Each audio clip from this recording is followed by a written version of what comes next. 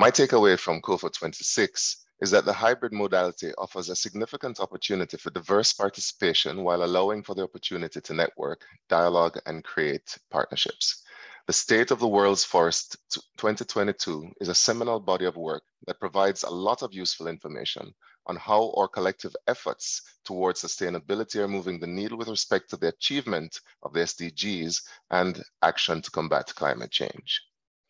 A brief update of the activities of the LACFC include a virtual session which was hosted by Jamaica held from the 6th to the 10th of September 2021. I am happy to report that attendance was quite good with participants from 32 countries and observers from 32 international, regional, and national organizations.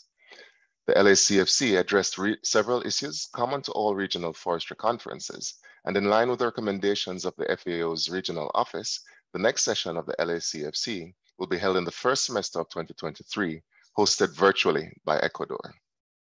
This follows on a virtual conference hosted by Ecuador in March of 2022 for the Latin America and Caribbean and Pacific, which was also attended by the LACFC chair, who presented the main results of the last session. Unfortunately, due to a lack of funding and human resources, the intersessional activities of the LACFC have not yet taken place, and we're advised that these remain difficult to organize. It should, however, be noted that a cross-sectoral approach is under consideration with the Regional Commission on Animal Husbandry and a common paper on silvopastoral systems as a form of climate-smart animal husbandry is being considered. The LACFC also made several recommendations for the consideration of COFO, covering a wide range of topics, including, but not limited to the impact of the COVID-19 pandemic, forestry financing to support the reinvigoration of the forest sector, mechanisms to facilitate the role of forests in food security and sustainable production chains, the promotion of the bioeconomy through forestry products as a tool for sustainable forest management and climate change mitigation, the promotion of measures to strengthen the capacity of countries in integrated fire man management, measurements to strengthen the capacity of local communities and forestry sector organizations in self-governance.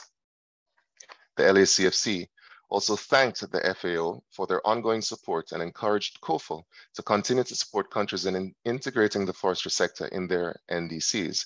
promote the development of urban forestry,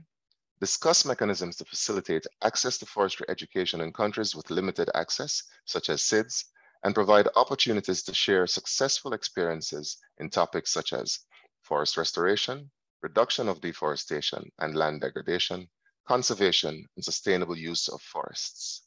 forest traceability systems, incentives, and effective zoning. Thank you very much.